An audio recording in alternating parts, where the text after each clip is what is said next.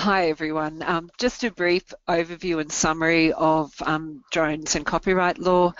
Essentially, copyright law in Australia won't protect raw data, but if there's a, a table or compilation of data Copyright law may, in certain circumstances, protect what's known as the data set, um, and this is a legal recognition of a, of a data set.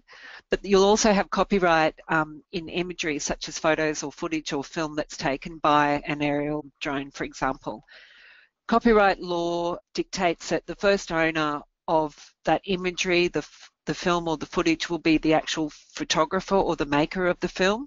However, what's important to note is that these ownership provisions may be altered by a contract entered into between the parties.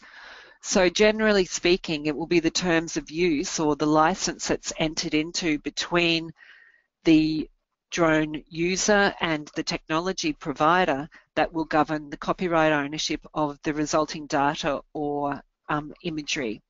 So what's important is that many of these terms of use are not really made available to parties prior to entry into these commercial agreements. So often this issue of who will own the resulting information is one that's left um, un unclear and essentially what is best practice would suggest is that the issue of who will own the resultant imagery, data, films or footage from aerial drones should be clarified between the parties prior to entering into commercial arrangements, whether that be a, a research arrangement or a commercial use of a drone, um, it's best to ask your technology provider what their provisions are in their license agreement and ask to see the license agreement itself.